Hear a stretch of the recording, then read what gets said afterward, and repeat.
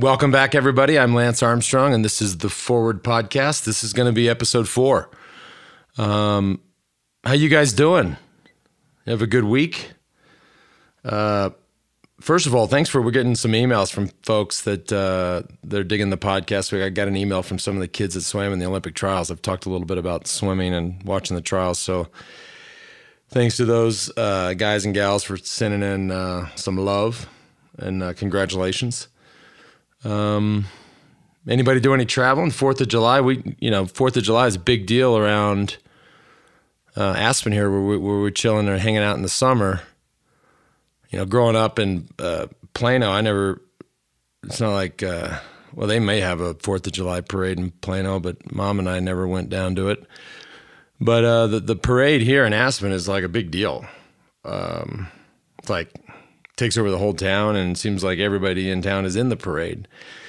And um, then all the people that are from out of town are, are watching the parade. So uh, we've done that for a few years. We take down this restaurant um, that sits up a little high so we can watch all the floats and whatnot. And this year was cool. Our son Max, um, he's been riding his dirt bike. He's got a little KTM 50, and he rides with the Aspen Dirt Bike Club. My buddy Kiko runs. And so they they actually ride in the parade. Kiko's you know ripping wheelies down the street, and he's got all these kids and other people riding their dirt bikes. So Max was featured in the parade. That was fun to see. And then Olivia got on one of the the floats. Olivia's my five year old daughter. One of the floats um, from uh, Cozy Point, like the equestrian place down there. That was a big old deal for the kids. And then you know that thing starts at eleven, which means that uh, you know the rose a started flowing at eleven and uh, which never is a good thing. That lasted all day. That made sure that July 5th was a terrible day for me. But I'm I'm, I'm recovered. And um, yeah, the, other, the only other thing we did on the 4th is we, after we have lunch and things continue to get sloppy, we, me and uh, the sheriff and um, a few other buddies, Jimmie Johnson, the 48 car, um, my buddy Todd, a bunch of us, anyways, went down to the local golf course and we play in the Barefoot Invitational. It's a really stupid idea, but we do it every year.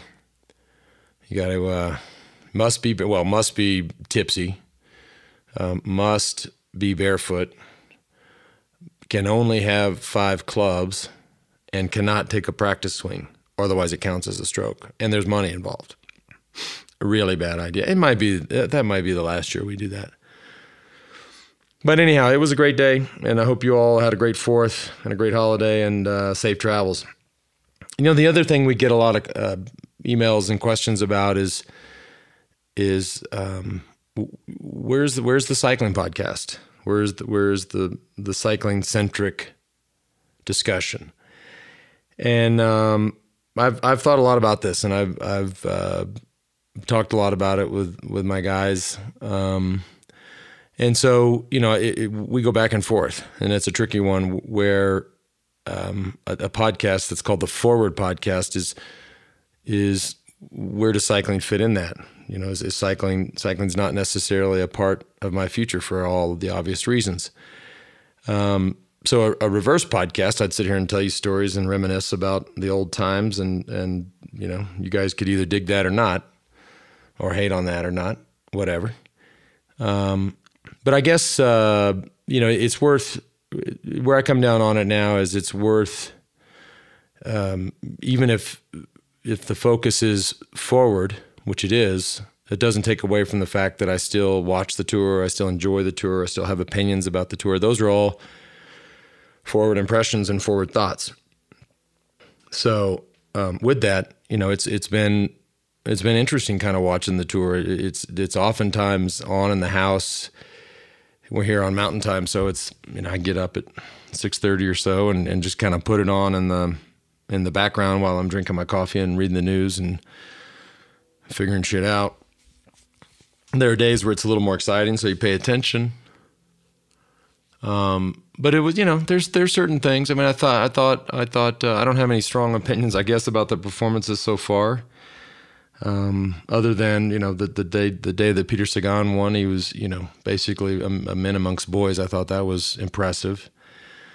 I thought, and I'm I'm, I'm very interested in, in our also quasi part time Aspenite Tejay Van Garderen and his in his uh, role there at Team BMC. I've, i was worried about Tejay um, going into it with this idea that there'd be co-leaders, um, and so I was interested to see how that played out. Unfortunately for Richie Porte, who by the way is a completely you know off-topic um, side discussion, I, I think Richie Porte. I'm just this is just a prediction.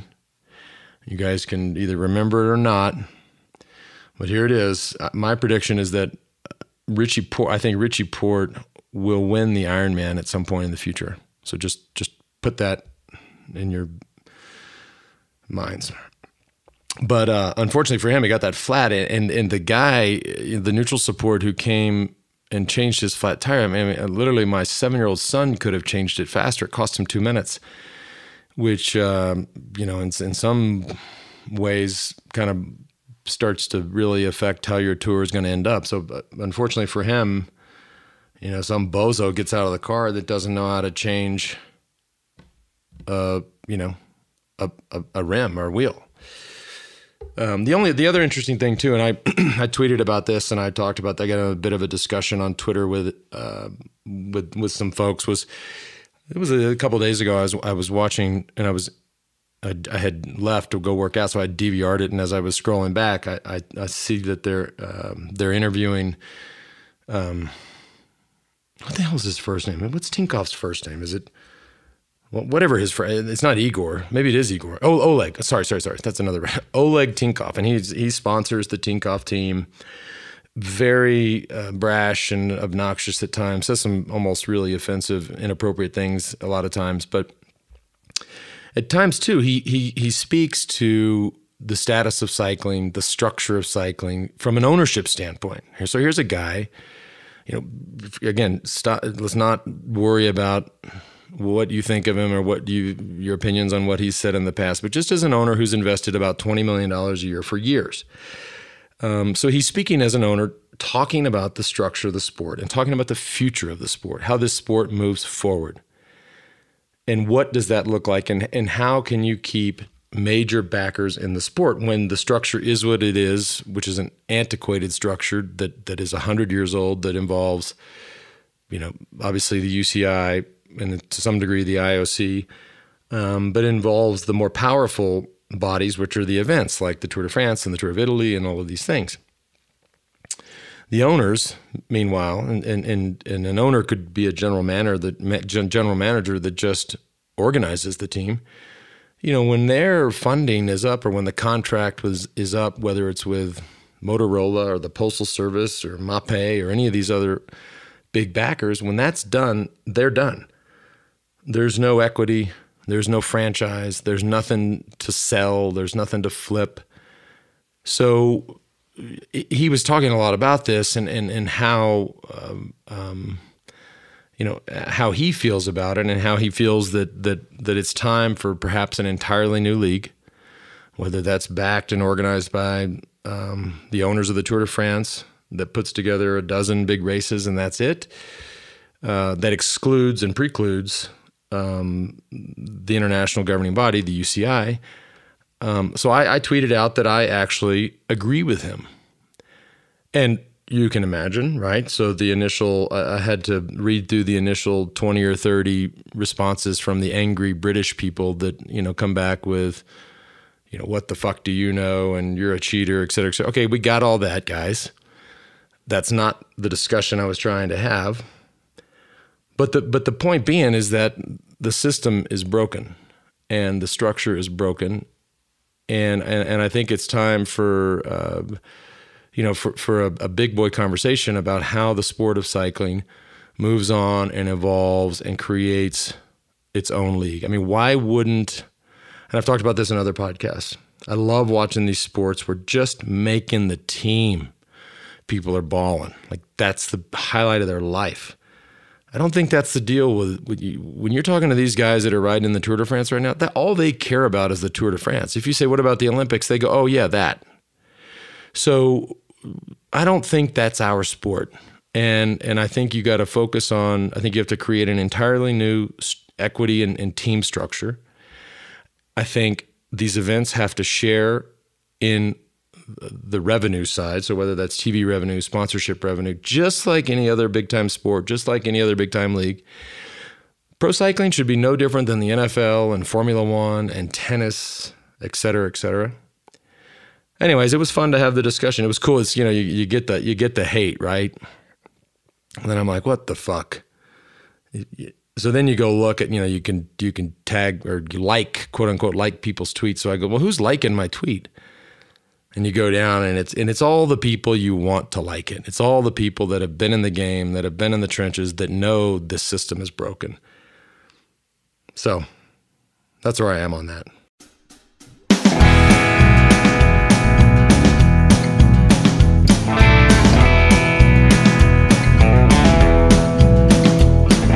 My guest this week is, is a guy that I've known for a little while. I don't know him very well.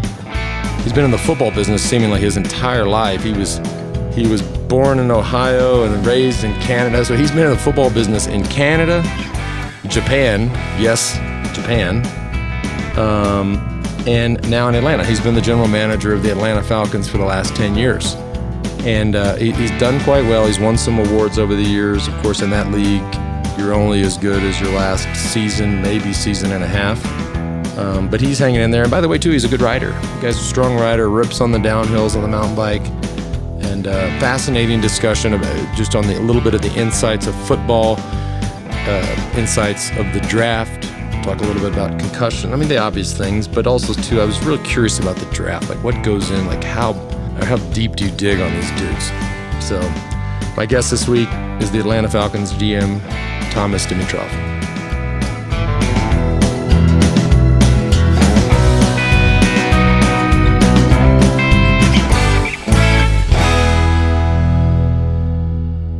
Here today with Thomas Dimitroff, which, by the way, before today, I mean, I felt a little funny asking a friend, like, dude, by the way, I've known you for a few years. Uh, how do you exactly pronounce your last name?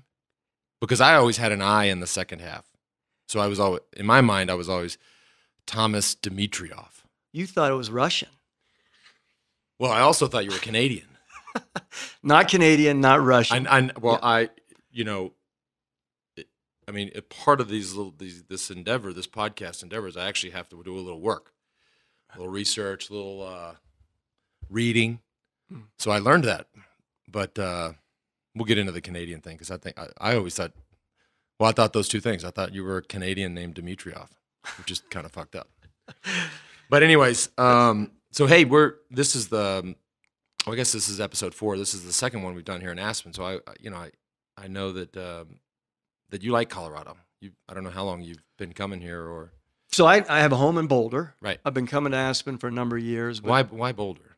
Uh, when I first uh, was making my move west, and I was trying to find an area to live in and scout the, the West Coast, I wanted to be in Colorado, and I, I ended up getting uh, traveling across the country. I was a big mountain biker, at least self proclaimed mountain biker, and I loved, you know, just the outdoors. And then I became so much more aware of what what Boulder had to offer from an earthy standpoint, because I do have an earthy organic side to me, yes. And I was vegan for 14 years, which was interesting. And in my profession, you can imagine, you know, just like you probably bust my balls if, if I was on your team and I was eating vegan.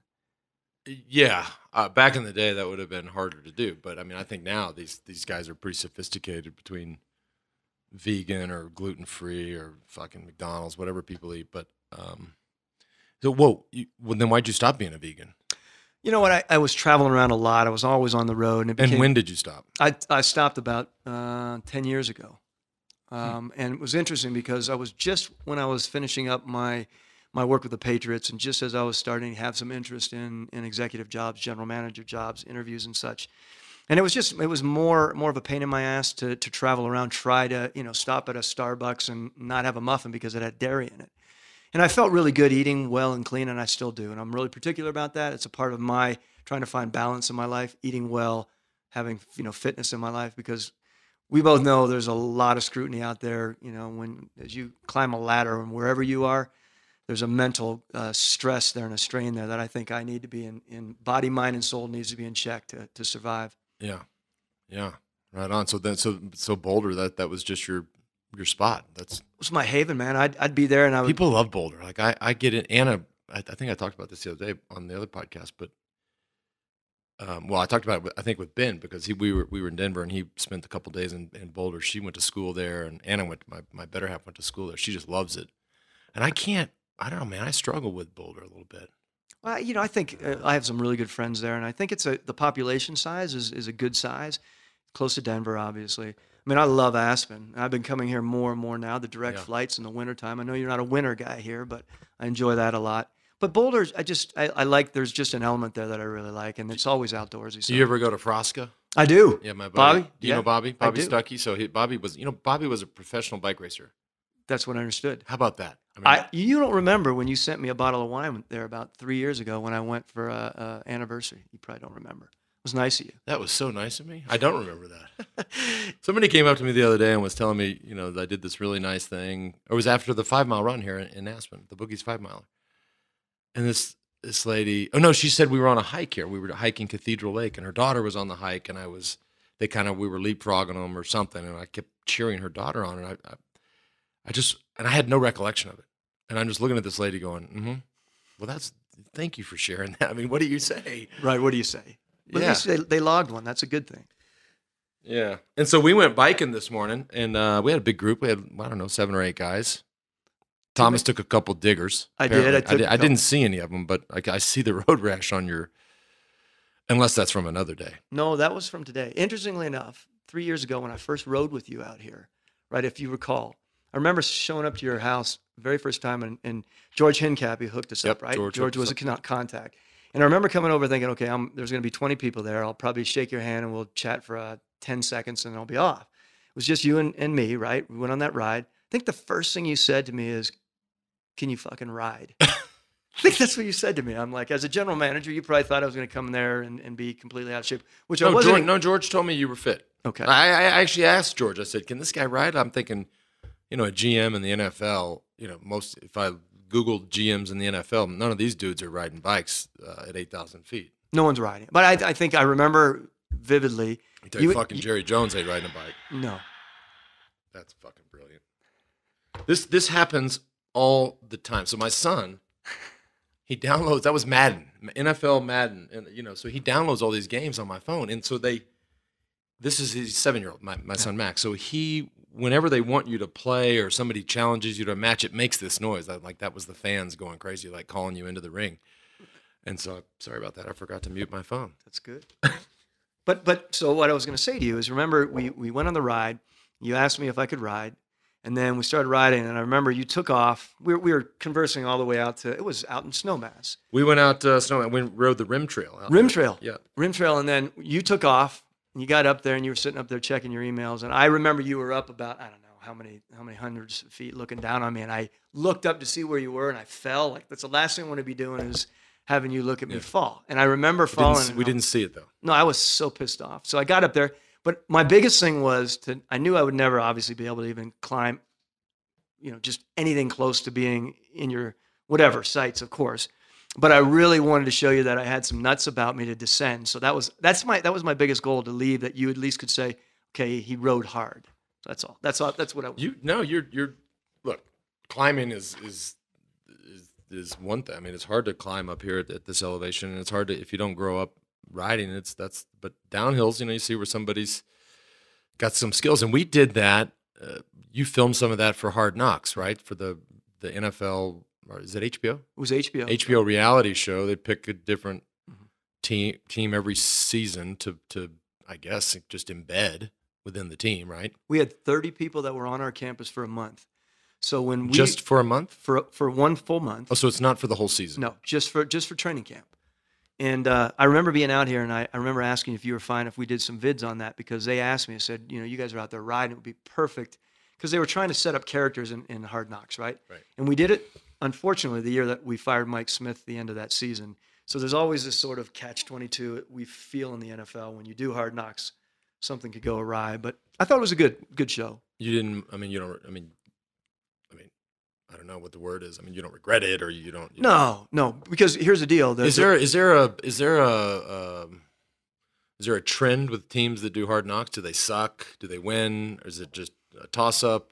Well, your your team did it. I mean, Jerry Jerry did it, and it's it becomes you know a situation. My team? Cowboys. I was thrown out. Uh, we can talk about that later, but that's that's a sore subject. Keep going. Okay. Sorry. Well, point being that teams do it, and the, the league now says if you don't volunteer, then we'll pick people. So our feeling was if we volunteered, maybe it would be 31 years later that we would not be picked again Yeah. for no other reason. We the experience was good for us, Lance. We we did some good things, but we ended up losing that season, and, and that ended up being a treacherous season. And Mike Smith is goes Mike's away. gone, right? And then we hired um, Dan Who, Quinn. who makes that decision?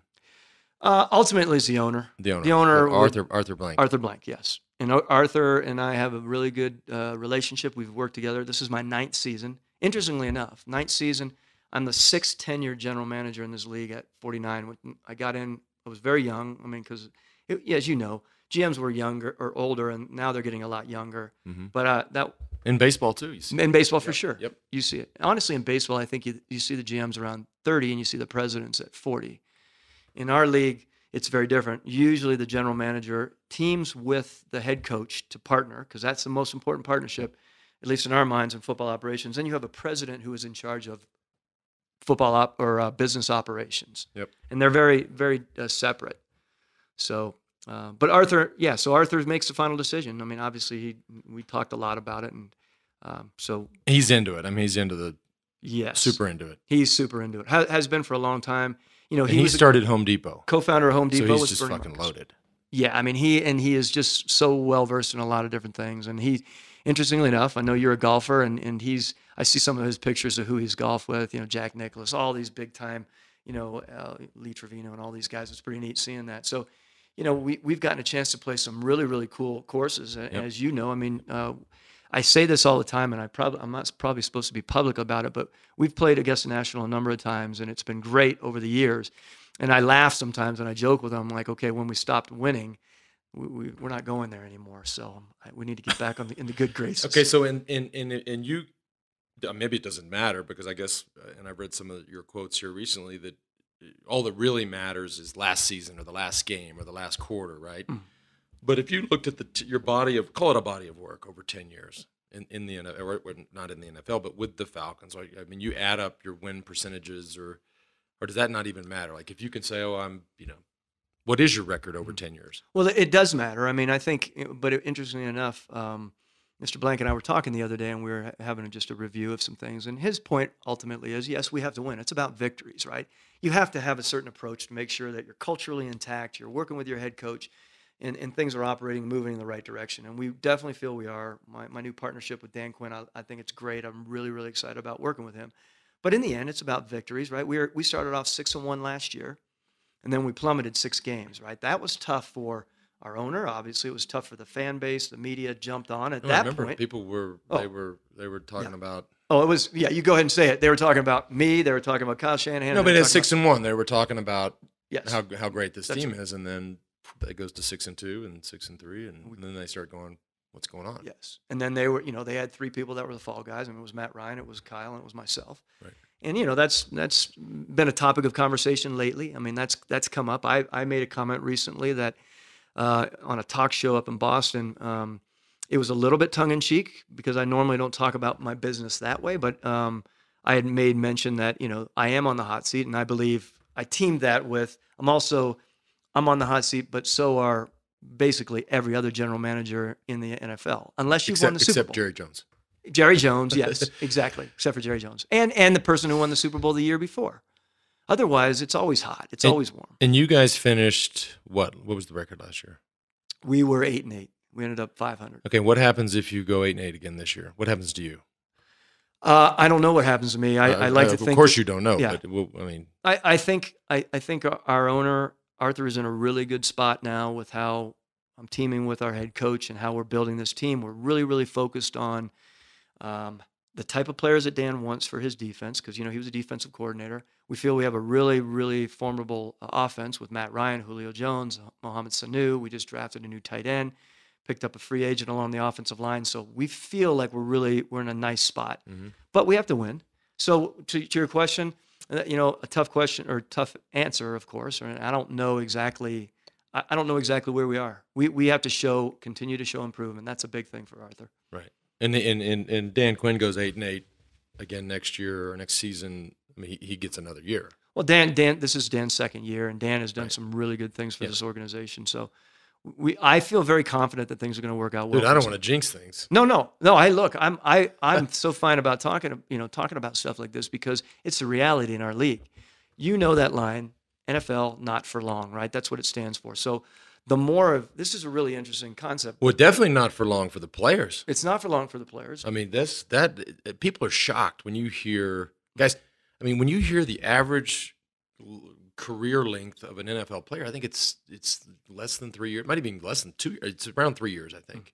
Hmm. I mean, that's shocking. It's unbelievable. And the money that everyone thinks that they're making. But Right. well, I will say what used to be a general manager in our league used to get five head coach picks.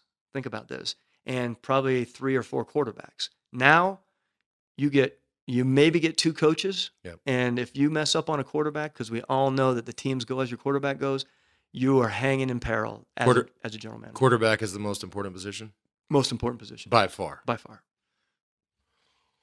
Huh. And you, wow. Okay. Well, Lance, it's the most important position, but think about Well, yeah. this. I mean, I would that would be my guess, but what do I know? But that we also consider it they're a pillar position. So it's quarterback, it's left tackle, it's a receiver, a big time playmaker, it's a corner, a defensive back, and then it's a D end. So those are five or six pillar positions. And those are the guys that affect. Because in the end, we can talk about depth and everything in building. And there was a lot of talk about Julio Jones trade, about what we did back then or what I did. And, you know, we gave to move up, take that Cleveland pick, move up to number six. Yeah. And we gave away, you know, two first rounds or whatever, two uh, second round, and then two fourth rounds, et cetera, et cetera. But in the end, it's about the impact players.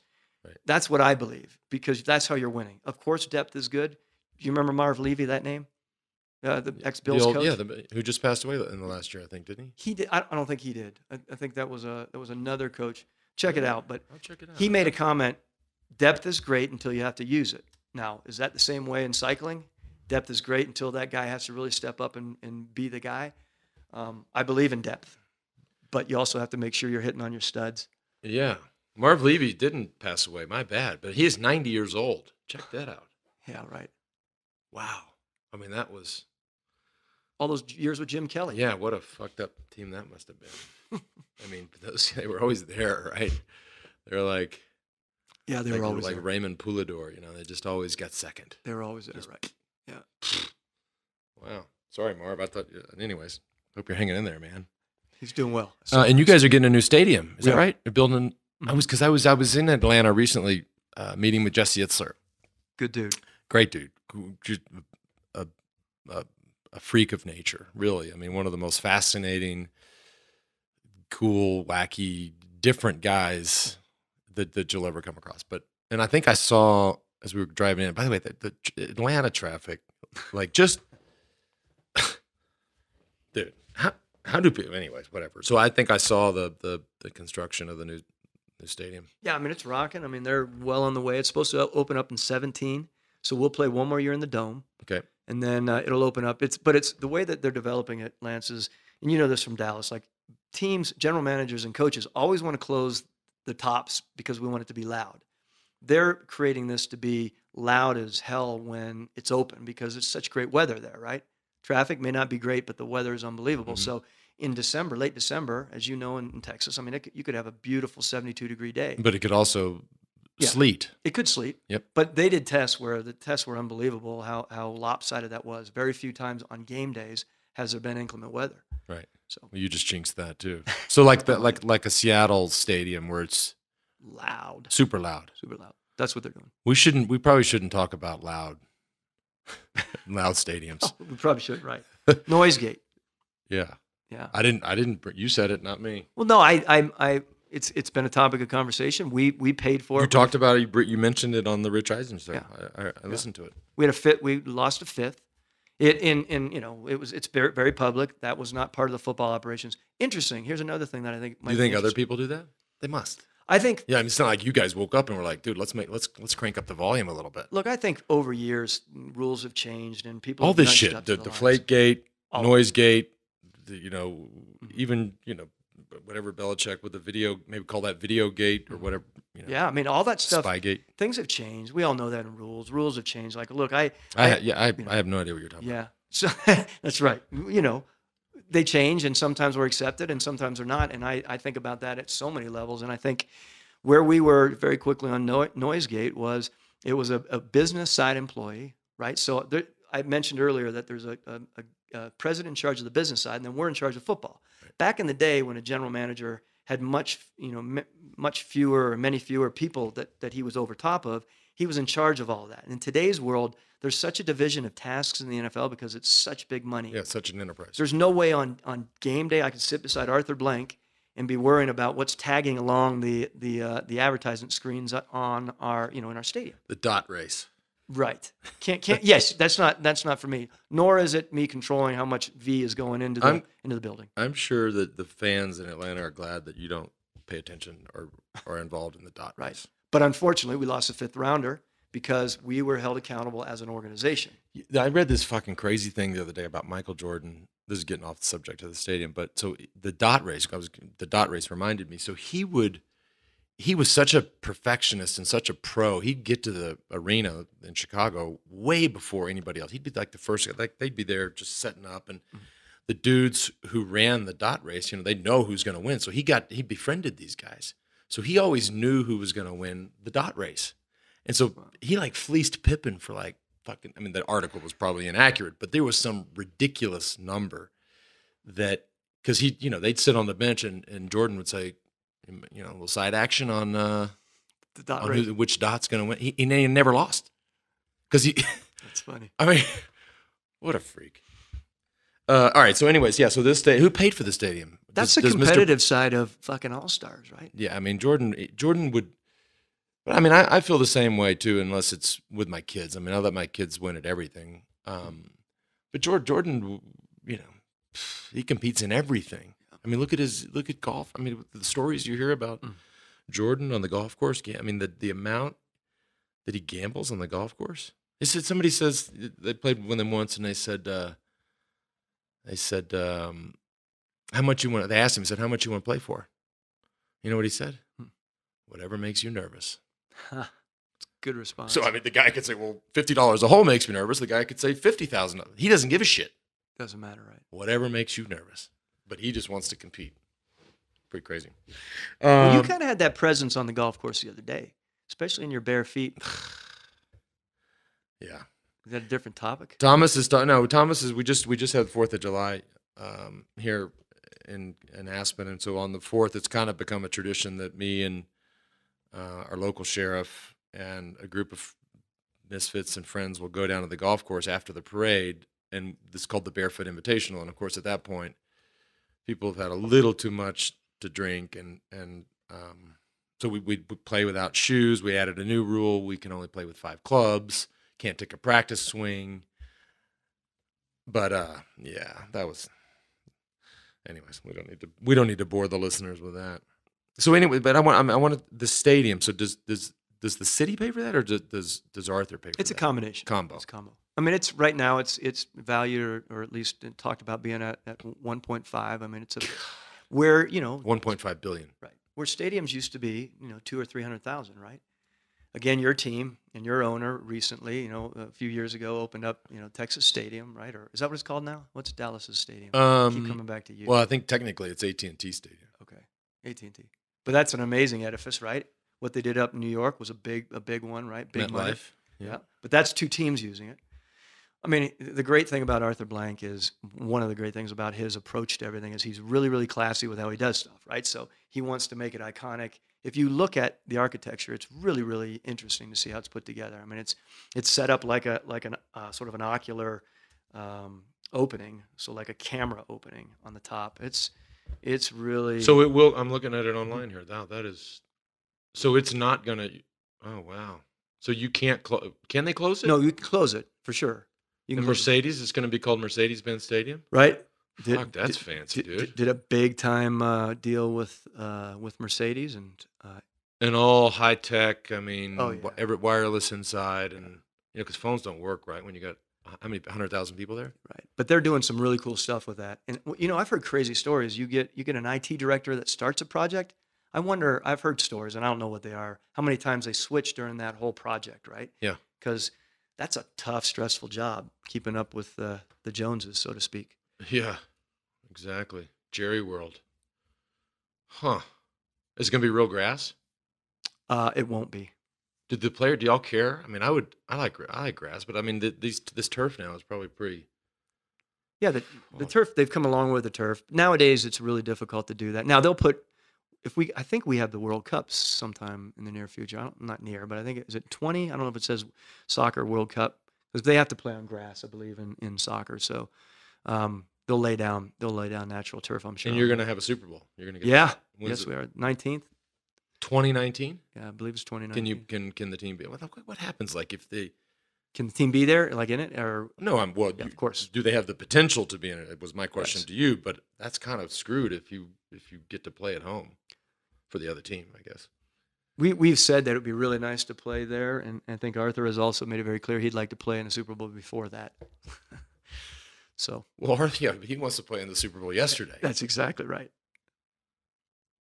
So in when in the beginning, we can just touch on this briefly because in the beginning, um, or you, if you just sort of Google you or whatever, you see you see so much Canadian stuff, you know, that the impression. But then if you look farther, you realize, I guess you were born in Ohio, Yep. so your dad must have just been a coach at, at, in Right. the Canadian Football League, and so obviously you you moved with your family up there. Yeah, I mean, I from the day I was born, I was around football. I mean, literally, and and so we, you know, my dad coached different colleges. Where you know, was around football all my life. Moved up to Canada because he coached in the CFL, and then I ended up going to school up there because I was up there. That's why people. I was up there probably 15 years. So I think that's where it gets. You know, I have some great friends up there, but I am a huge, huge, you know, patriot. I mean, I'm I'm very proud to be you know American, and and I have I I have some great friends up there. My brother still lives up there. But yes, I am American through and through. Yeah, I wasn't waving a flag here the other day at your little party there at the Wild Fig, but but I was being. and you don't have that. That's you didn't when you because you must some of your formative years you grew up there. You don't have you didn't get that uh, A and about and a schedule and all No. these things that can. So, yeah. that can hit you right now. We can, can you, you can spot a Canadian like immediate as soon as they That's right. yeah. Hmm. And then as I as I looked more, the the, the most I mean forget the Canadian uh, adventure, but at some point, at least on Wikipedia, it says you went to Japan to run up some somebody's football team. Yeah, well, you know, I was kind of in between. I, you know, I started. I literally started at the lowest ranks in football. Again, even though my dad was around. I when was they say ground crew, because if you look it up, it says you worked on the ground crew. Yeah. What is what what is what do you mean? basically, I got we all and I got fired from a from another job, and I was in between jobs, and I, my dad was scouting for the Cleveland Browns. Oh, yep. My dad was scouting for the Cleveland Browns, and and I thought, well, instead of me going out in the real world making more money, because honestly, everyone thinks when you're in the NFL you're making money, and we're, we as young guys we're making a pittance, less than a pittance. I mean, it's horrible because that's just the way it is. So I didn't want to make twenty two thousand dollars, so I thought I'd work on the grounds crew so that when I did come back to football, you know, I was ready to go. So it's funny though, Lance, because most of the people I get letters from grounds crew people all over the world. Hey, I heard you became a GM, but you were a grounds crew guy. Really cool. How did you do it? But grounds crew, it's not like mowing the grass. Oh, I was everything. I was pulling tarps, mowing the grass. But my here's the deal. That's my dad was up in the building. I had c- contacts. I, I was really sort of really entrenched in football. During the day, I would pull tarps. At night, I'd go in with Scott Pioli, my our assistant general manager now, who was my boss at one time with the Patriots, and I would watch video for five or five hours or whatever in the night. So I, I had this dual dual life going on here, where I was on the grounds crew, but I was also doing some football. But you just wanted, you know, you wanted your foot in the door. I mean, that was one. wanted to keep it there. I didn't want to go, you know, working in business somewhere and, and try to come back in. Every time I think of the Cleveland Browns nowadays, I think of Johnny Football, Johnny Manziel. It's crazy. I mean, it, it- I don't know why. I mean, I, I guess partly because he's a Texan, grew up in Texas, and I grew up outside of Austin in, in a little, really cool little city called Kerrville. Um, but that's that's almost hard to believe that that's going on. But that's when I when I think of the Browns, I think of I think of Johnny Football. Unfortunately for them, right? That's he's a, he was a I mean a hell of a football player, very very talented. You You, didn't draft him, Huh? You didn't draft him. No, we were ahead of quarterback. Here here's my belief on quarterback. One last thing, and you know this about being the captain of a team and how important it is. They get You're- hurt a lot. Yeah, and your quarterback better be the toughest, toughest, tough ass on your team, and he is. I mean, I was around Tom Brady for a number six years when I was with the Patriots. As as you know, gorgeous as he and his his wife are, I mean, he is the toughest guy that I've been around, and to, you know, seeing him and watching how he is mentally and physically, and I think Matt Ryan is very much like that as well. Hmm. And it's fun to watch those quarterbacks that can take a hit and get back up and hide it. I mean, that you know about hiding pain. Yeah. Guys who can hide pain. No, but that's different than getting run over by, you know, a guy who's 290 pounds and can run a 40 and 4 3 and bench press God knows how much. I mean, that's that's that's next level. Will Johnny football play again? I don't. Wow, that's a, that's a tough one. I've been watching his father's comments and then Oh, seeing that's so his, sad. Yeah, it's a sad situation. Well, you're. I mean, yeah. As a parent, you, those comments, you're like, ah. Mhm. But he's he's small now, isn't he? Like did someone say he's like buck eighty or something. I don't even know. He, He looks doesn't. looks really small. He doesn't, you know. I don't think he's in the gym a lot. No, he's in Mexico now, right? Isn't he hanging out there?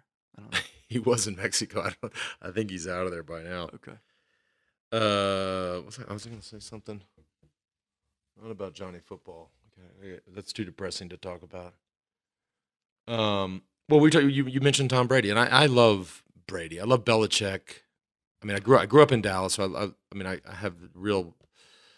I mean, I was a Cowboys fan my entire life, but when I say Cowboys fan, I mean it was you know growing up with Tom Landry and Staubach and Tony Dorsett and all those guys, and then the transition to to Jimmy Johnson and and to Jerry Jones, but then still you had Aikman and, and Emmitt Smith, and, and and now it's just a it's hard to watch. It's hard to be a Cowboys fan when you think about it, for us at least. And anyways, but uh, uh, so uh, point being, like if I'm at home or if I'm watching the NFL, which I watch every weekend, I mean, I, I just love watching the Patriots, uh, and whether it's you know Mr. Kraft from somehow he's just built a, a a monster there, and Belichick, I just love too the way he he's just so matter of fact about it. Like he doesn't say shit. Like he asks these questions, he's like, "That's a dumb question."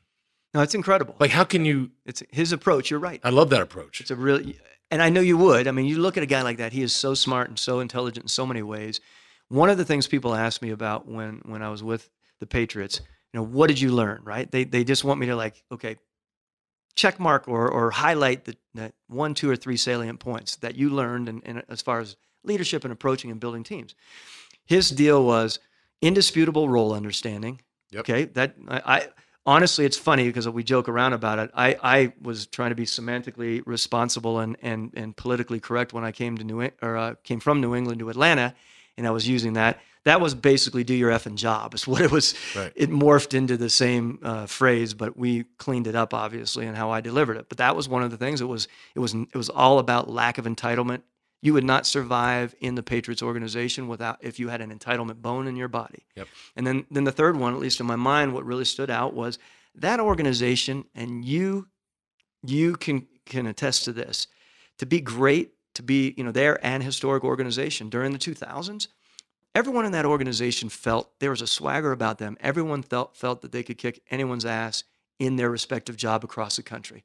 They didn't wear it on their sleeves, and you know Bill was really particular about bulletin board material. But Bill had a really really good approach with making these people believe us, all of us, believe that we were the best at our jobs, and that that carried it a long way. The swagger about it, because too often coaches are saying, "Okay, calm down, don't come across too arrogant or too," and I get that, but hey, look, you know about swagger, and and and there's no way you can be.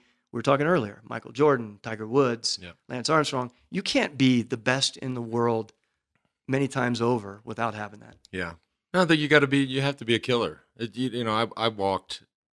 I mean, I walked that walk and lived that life, and and uh, and then you know, then it all sort of changed. And but you know, if you, I mean, the, the the intensity that comes with a Jordan or a Belichick, or you know, a Roger Clemens, for example. I mean, it's you know, there's plenty of people that want to sit there and say, "Oh, he's a ter- there- that he's a Belichick's a terrible person. He's mean. He's too, it's too intense for a lot of people." Which I don't. I, I'm not in that camp, right? I'm like, fuck that. Like, I love that. Um, but it, it it ended up not working too good for me. But it was about accountability there, Lance, and and we can't we can sit there and talk ad nauseum about millennials, right? Like how do you deal with the millennials? How how do you coach them? How do you lead them? And in the end, you can never get away with what we all know, right? It's about team concepts. It's about work ethic. It's about grit that you referred to earlier. That's what it's about. And if you have a head coach uh, steering the ship the right way, you have a very good chance to have people buy in. Yeah.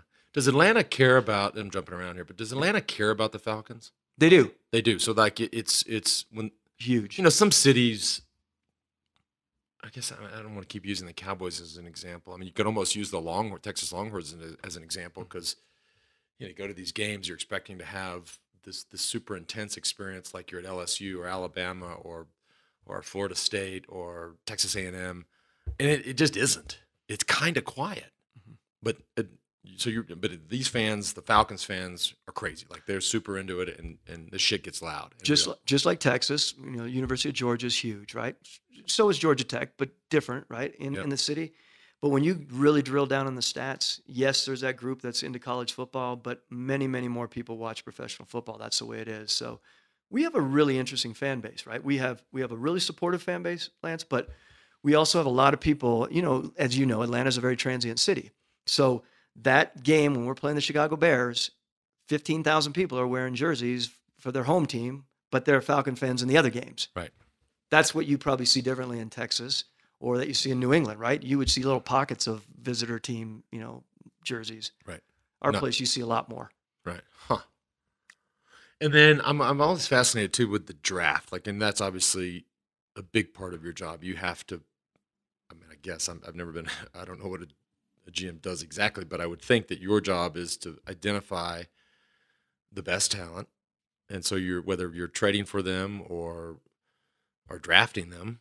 Um, but how? I- I- j- Just curious, how much do you learn about these guys? Like, who was your who was the first pick this year? Keanu Neal, he was a safety from the University of And Florida. ha- I mean, did you know like everything? Had you like did, did somebody on the staff read like every tweet or any every Instagram? Like, like how deep and dirty does that? And- we do. that- I, And- I would think. I mean, if you're going to invest we have to, right? tens of millions of dollars and it's your one, it's not like you get to go. Oh, I fucked that one up. Can I have a do over? Like that's it. Once you say the name, bro. You're you're you're, you're So right. I mean, how just how deep and like I said, dirty does that get? Oh, it's really, really deep. I mean, there is there is a lot going on at so many levels. We do psychological testings, pro- probably three or four different psychological tests. We do. We have all the research that we have. Like it just it was interesting because Dan Quinn was on the staff at University of Florida for a few a couple years when Keanu Neal was a young guy. So we knew the kid's character a lot, and we have some very good contacts. It's about tapping into contacts. You know that. I mean, it's about relationships in this league. Still, we'll go in. We do a lot of work with the you know the uh, academic people.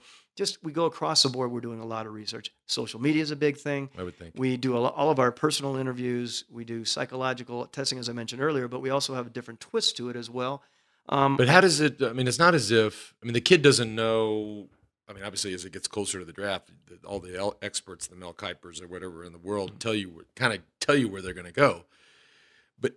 If he, if in the beginning there's 15 options for football teams, he doesn't have to do 15 different psychological evaluations, does he? oh, he yes, yes, he does. He does. Th- th- those guys are run roughshod. By the end of the process, they are so beaten up over it, right? So there's a lot of talk about maybe adjusting that, how you could do it. But in the end, back to your point, if we're investing that much money, we want our eyes and ears on it and our questions. We don't want to sit there in a group of 25 coaches listening to what, you know, Bill's asking them. Right. We want to know what we're asking them as a Falcons. But it's there's a lot going on there. And as you know, you've seen people who are really good football players but have you know massive character issues as far as it could be. Here's what here's what my feeling has always been. I mean, you can have a badass guy who's who's edgy as all get out, right? Because I do believe that there's a spot for an edgy guy on your team or two. I've always said, however, you can't Edgy. What do you mean? Like, I- like I mean arrogant living- or, or no, I mean living up to the edge. I mean, I'm not I'm not talking about legal issues because then you run into situations where, you know, if someone does something downtown, edgy also- meaning like drive fast, take chances. Edgy. Yeah, or, yeah, or okay, we- Partying or figuratively I'd say edgy like we always say they could get up to the get up to the end and and and you know, right up to the line where he's not going over, where it's not an illegal act on the field or illegal act downtown. They have enough edge to them that, that aren't getting sketched out by looking over that edge. right. Some guys, you can imagine this. They, you've seen it in your sport. They come up and they're like really, really apprehensive about getting too close because they think they might fall over. The guy who knows he's not going to fall over, but he can get to the edge. There's a swagger and a confidence about that kind of player, and I think it's important to have. I also believe you can win with good people, and I believe you can win with people who who believe in the basic tenets of the team concept. We've talked about that time and again.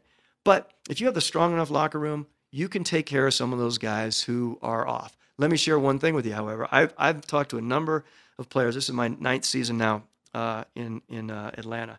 I've had players come up to me and say, when you brought in that a hole that we really didn't need, he stood out like a sore thumb because we were such a, a, a, cohesive unit, which I thought was really, really interesting.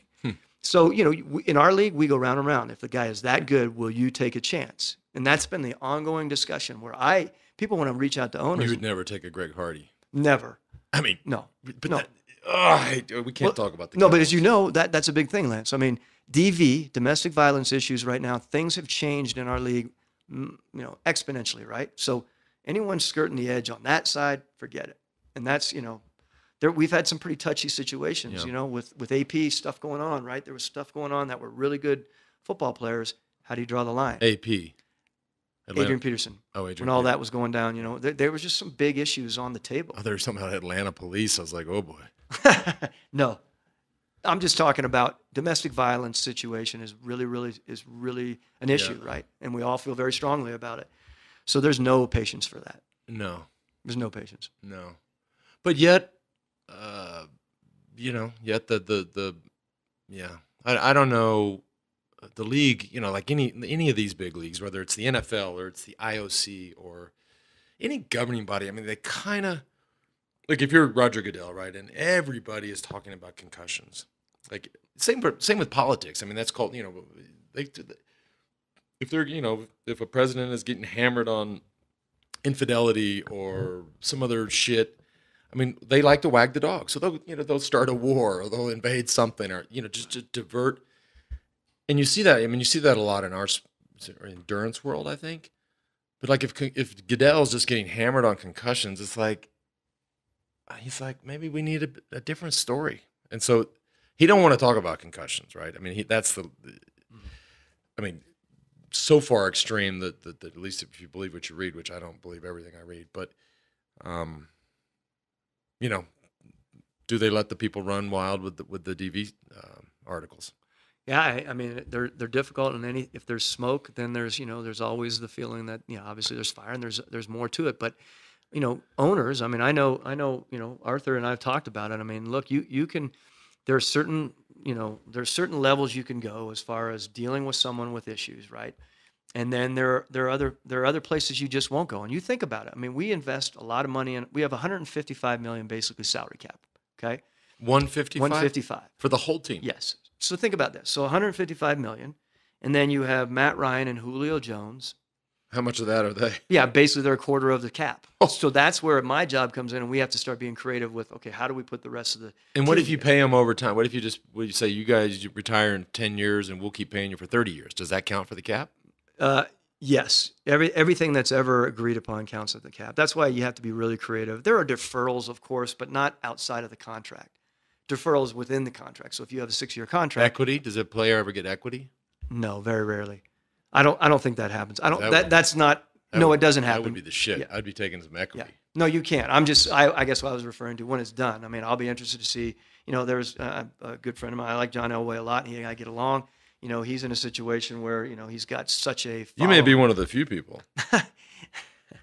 well, he's. You know, he and I. I don't know John Elway, yeah. but it just seems like it's always. I don't know. No, I mean, I think I honestly think you guys would get along well because I think he's a tough guy and I think he's a guy that has a strong opinion and and he's been there. He's a man's man. I mean, he's he can hammer the beers. I hear like he just fucking drinks beer like it's water.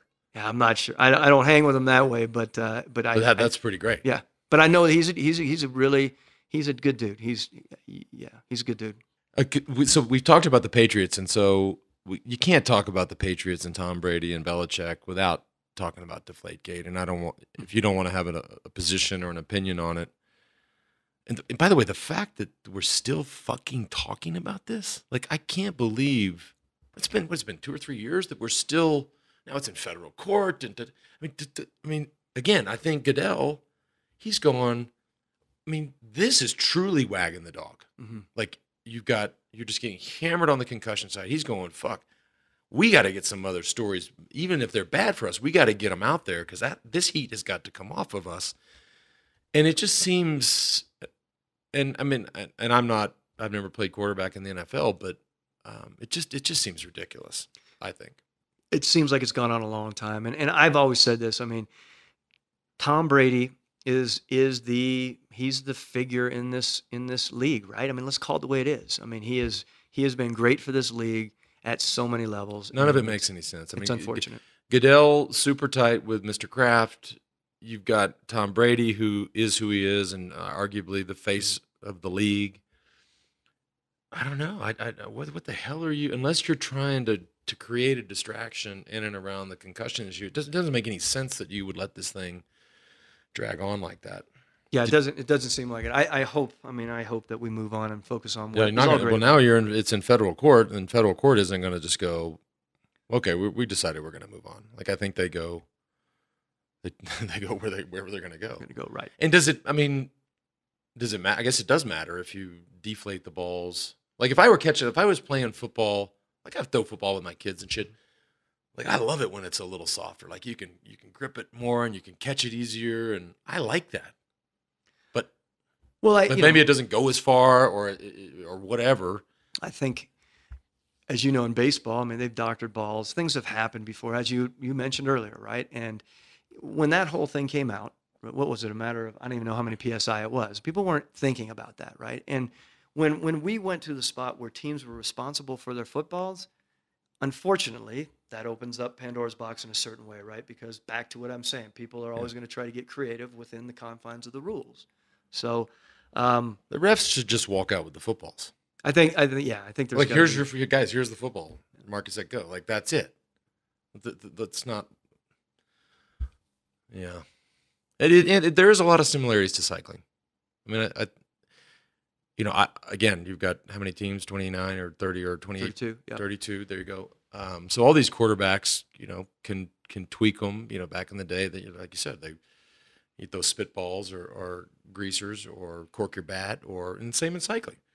Mhm. But dude, you get 10, 15 years down the road and people are just appalled. They're like, these fucking cheaters. Look at these. I mean, and, and meanwhile, you know, you, you, you know, Yogi Berra is like, well, that's what we all did. But what we all did doesn't always fly. Right. That's for sure. I've come to find out. You have. Speaking of that, so and this is that you got to run, so we'll wrap this up. But you're uh, you're headed to the tour. Heading to the tour. Can't wait. I've been there one other time. Was at a time trial in Nice uh, three years ago. Um, I'm having an a team time trial. It was a team time trial. Yeah, the first one. It was. A, You it went just as a fan, or you were embedded with the team? Went as a fan. This time, as I Standing on the side of the road. standing on the side of the road. Here's Thomas. Coca Cola ended up helping me out, getting close by my, my family and I, and so it was good. But I couldn't speak French. They got in a car and someone drove me to another side of the, the area, and I was thinking they were taking advantage of me, so I had to get out of the car and walk back, and I missed a few things. Blah blah blah. This year, um, I mentioned to you that um, have an opportunity to go um, and be the stage 12, right? Montpellier to Mont Ventoux, and then the the the, t- the time trial the next day. So two stages, Huh. 12 and 13. Um, So you're okay. So you're you're gonna go up the and you're in your you're embedded with Team Sky. Team Sky, right. David Brailsford, I, who I've gotten to know over the last few years in leadership symposiums and such, um, he's invited me to do that. So I'm excited He's the about smartest man cycling. I, that's all good. I loved your text to me when I told you I was going to do that. But Um, that's yeah, that's a whole nother podcast. But um, maybe yeah, we should have him on the podcast. That's the problem. You Yeah. know, a guy like that, he would never fucking. he would that. never. Um, well, one of these years he might. But so so you anyway. So you're in in in the first car because you know there, there's two cars in the caravan. So there's you you know all this shit, Yeah. but the listeners may not know. So every team has two cars, and then obviously there's tons of sponsor cars and neutral support and media cars and. Um, but you're in the in the first car going up the Ventoux. Looking forward to it. And, and I'm. Have you ever been on the Ventoux? No. And I'm ho- evidently, and are you are you a Christian Vande Velde guy? Do you guys hang? You guys know each other pretty Yeah, well? I know Christian well. So we're we're supposed to try to all get together and do a ride, you know, um, one of those days because I'm going to be there, uh, what just the day before and then all the way through, and then I have to make my way back to Nice. But You, they should have you on the show. They should have you on the NBC show because it's so boring. I mean, we need we need cool people like you. that would be that'd be fun. But I anyhow, I mean, so you're gonna and, and think about this, right? So if if Froome stays upright, um, which is, is a big if, um, and you you know you get to, he's he's obviously the the the favorite, although I think Quintana is there too. So, but nonetheless, you're gonna be that's the 50 yard line, dude. You're like Yeah. that's not even the 50 yard line. You're you're you're with Dan Quinn, like Mm. holding his notepad. right there. Like that's it. So that's you're be gonna shit. I mean, the Ventoux is. You bringing your bike? Well, I guess you want you'll be in Montpellier the You night know what? before, so you, but but David said that he's going to hook me up with a dogma, so I'm I don't know uh, Pinarello. Like, Yeah. uh, anyhow, I, I'm what what I is, is with like thirty pounds. is that what, that's what they're But uh, Well- w- uh, we're talking way too much about cycling. But um, no, but you'll you'll find it interesting. I mean, Ventoux is is one of the sanctuaries of cycling. Can I share one thing about cycling with Yeah. you? Because here, here's what I do believe. So I've grown up in football all my life, and and I've been around a lot of big time athletes in a lot of different sports. Obviously, football. I'm I am so far from being starstruck, or uh, that's just not my world. And yet, I have a real passion for for the sport that you were involved with, and because you know all of us who who are sort of want to be, you know, because we can do it, right? We can't play football anymore. We can't, you know, we don't play basketball the same way. So I'm really, uh, you know, enthralled with what's going on with cycling. That's why having an opportunity to spend time with David Brailsford talking about just leadership principles in cycling, I think is very interesting to me. Um, so I'm, I'm really looking forward to it. I think, look, I look back and I think about all the tours, and I know you don't want to talk a whole much about cycling, but and and people always ask me because they know we know each other, what was your favorite tour? And I said, you know, 2001, 2003, we start talking about what happened and and you know the look, the whatever else it was going across the pastures and and the fall and the recover. And I think about all those things, and I thought, okay, that's that's what grit is about, right? Recovering from that. And then I circle it back around, and I start thinking about my own situation, which you alluded to earlier. Okay, are you on the hot seat or not on the hot seat? All of us who have grit about us and, and sort of uh, resiliency, it's about we've been taught get the hell back up, take the shot in the face, whatever you have to do. Okay, so this is the third year of going on the proverbial hot, hot seat. But all that I've learned from the people who are really driven in this world in sports, I think that's what that's what it's about, right? I mean, in the end, if it doesn't happen, things don't work out at whatever level, you have to be able to look yourself in the mirror, right? You know that we all Right. have to, right? As far as com- competition, so Well, you yeah, you got to get back up. I mean, it, it's like you know when you're a kid or when you're teaching your kids to ride a bike, they they fall over, they fall down, they crash. And a kid crashes. It depends how hard they crash, but they're like, okay, I'm done. Like, I'm done for the day, or I'm done forever. I don't want to ride my bike anymore. I'm scared. I'm hurt. I'm crying. I mean, you, I, you know, that's the point. I think we're. This is a metaphor, but I mean, you have to get back on the like, like even if you just get back on for ten seconds, just like give me a 10 second ride. Like that's so you. Yeah, you carry that on in life, and I mean, fuck, this podcast is getting back up, right? So my shit goes just nuclear, um, and that that's what this is, I guess, in some way, right? So I'm no question. I'm, I have all these cool, interesting, fun friends that I think people would want to hear from, and we're gonna have a conversation. So that that's all. Yeah. Well, one of, one of the things I was going to say to you along those lines too, because you do have some great people. I was thinking about your network is like amazing, and I was thinking about okay, you know, some of the people that you know you had out at the uh, Barefoot Challenge the other day. I mean, really successful people who have been through a lot, right? So I look back, if I could share this, it's it's a really interesting thing. When I first, I was at New England, right? I was a middle management guy, right? Middle management personnel director, and because we were doing well, right? Anyone's going to reap, not anyone good people, adept people are going to reap the benefits of a good, successful organization. So I was with New England. Arthur Blank's looking for the next general manager, and he says, okay, well, let's reach out to uh, New, uh, New England, and let's, if nothing else, let's glean information. Hey, I hear there's this guy from Boulder. He has blue hair. This, I swear to God, this was like bantered around, uh, bantied around in the league that I was this off the wall guy. Arthur said, well, I want to inter- I, I want to interview him because in Home Depot, I always thought outside the box. So here I was. I was again, in this situation, his first two or three choices, well, three choices were Bill Cowher, Pete Carroll, and Bill Parcells, not in that order. Big time football guys to be his general manager. And then, then there was another group of four or five GMs that were already GMs. And then there was my, my group. So I swear to God, I was eighth on, on the list. People often ask me, were you, were you pissed or were you, were you offended that, um, you know, offended about what? So I, I remember. Offended about being behind Bill Parcells. Yeah. I'm so Yeah, pissed. Right. That this doesn't is seem- That bullshit. doesn't seem right. But here's what I'm going to share. So all my life, just like you, I was, I was, I always was, was pushed to say, when you're on the bench, you better have your proverbial plan ready, right? Your book ready. And for four or five years prior to having this interview, I'd been working on things. So I, whenever I'm speaking to some of the youth around, I'm like, be ready. You never know when your time's going to come, right? Your time came in a different, different sport, different way, and all of a sudden you capitalized on it.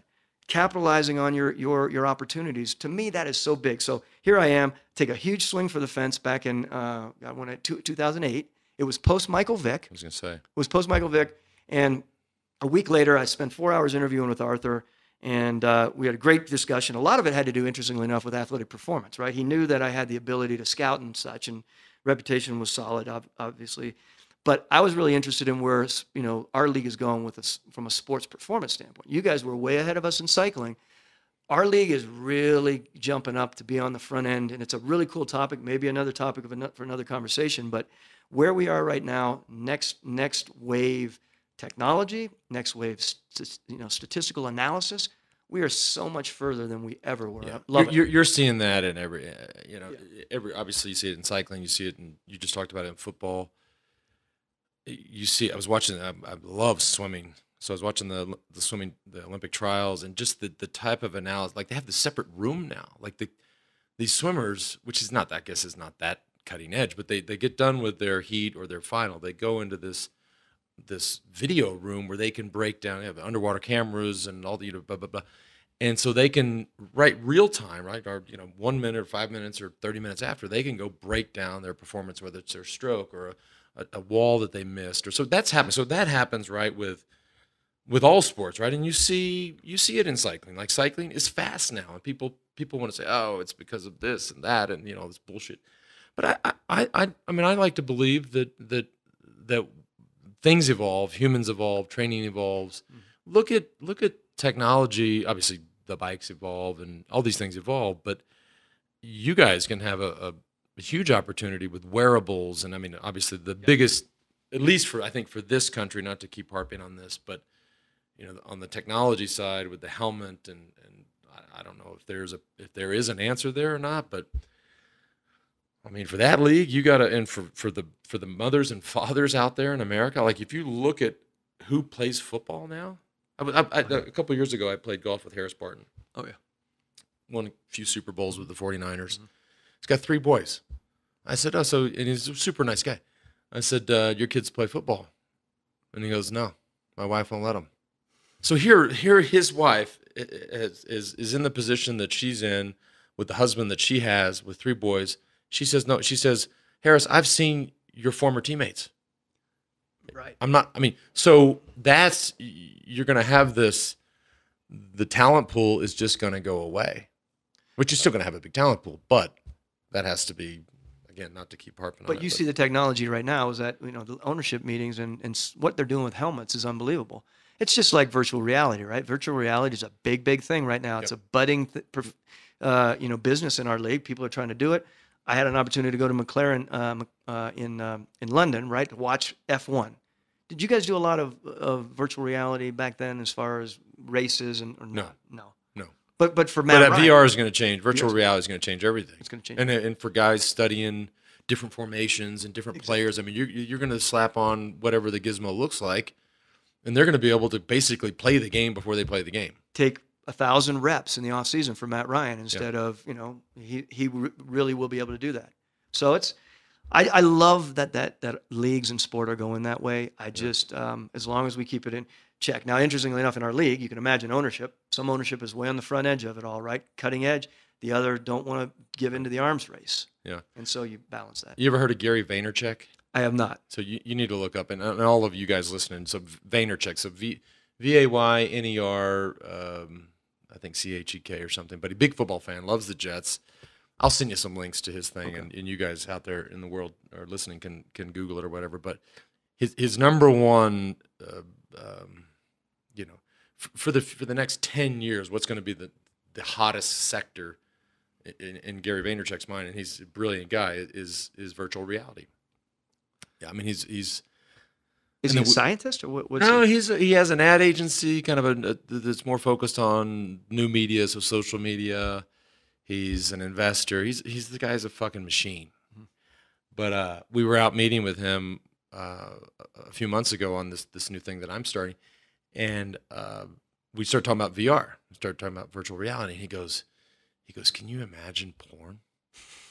like you think about okay, Matt Ryan throwing passes and you know uh, Chris Froome studying the, some climb or some turn. But then when you think of it, you're just like, That's that's sort of a game changer. Wow, that's a game That's changer. that's fucked up to think about. well, Anyways, on that note, dude, thanks for doing this. I went a little long. Sorry, I went. I told you I'd keep you for forty-five no, minutes. That man, whatever hour. you need, man. It was great. Enjoy. And um, good luck this season. Appreciate it. Who's going to win the Super Bowl? I know you're going to say the Falcons, but if the Falcons don't win, who's going to win the Super Bowl? You know, I think you know. Let's say that. Let's say that you know you have some injuries or whatever, and you guys don't win. Who's who's the, who's the favorite? Look, I, I, I, you, you keep looking at those two teams. You're looking at, you know, the AFC teams because I don't want to answer on the NFC side, right? I look and I, I look at both New England and, and Denver where they are. They, you know, Denver obviously has to figure out their situation, right? Guy tossing the ball, however that's. it's a little too out. late to figure that out. Yeah, it's um, well, I'm, it has to kind of fall into place for sure. Is Von Miller going to go back? Uh, I, Is you know, I've been reading sign? a lot about it. I've been reading this. It's quite positive. But here's here's one of the Or is he going to sit out? He might sit out. when when Tom. By the way, that would be stupid. Why would you sit out? I can't. I can't. I can't. That defense is so intact, as you know. When Tom Brady was driving in that final game, and he didn't make it, I thought this is going to be this is going to be really really difficult for anyone. That's no, not being derogatory towards Cam, which is a whole other topic of conversation as a mm-hmm. competitor. You know, we're in the same division, but you know, when Tom Brady wasn't able to take it in and they pressured him that way, I thought, man, this this team is just they're playing with their ears pinned back, and they are badass. Where they are. Okay, there you have it, guys. Dude, thanks. Awesome.